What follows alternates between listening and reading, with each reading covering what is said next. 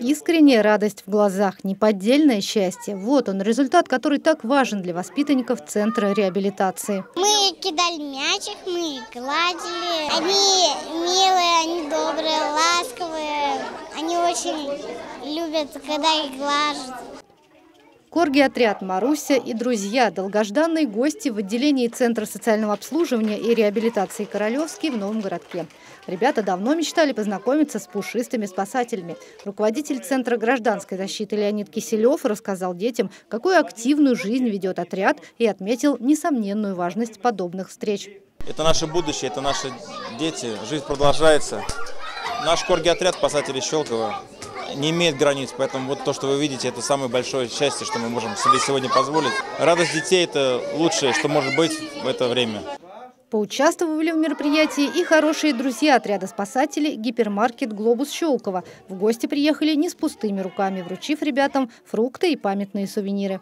Всегда откликаемся на все приглашения уже длительное время и будем продолжать э, в том же духе, потому что а, видеть вот то, что мы сегодня видим, да, эти радостные лица детей, а, ну, это многого стоит. Отделение реабилитационного центра в Новом городке существует больше шести лет. Здесь помогает детям с ограниченными возможностями здоровья, как с ментальными, так и с физическими отклонениями. На данный момент центр посещает более 50 воспитанников. Дети у нас э, возраст от 3 до 18 лет с разными диагнозами. Когда ребенок приходит на реабилитацию, он получает услуги логопеда, дефектолога, психолога, э, массажиста, ЛФК.